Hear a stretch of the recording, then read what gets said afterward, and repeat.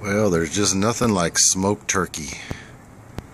So, Daddy Barry over here is smoking some turkeys. Got two turkeys on today. We just started them at well, about 30 minutes ago, plus or minus.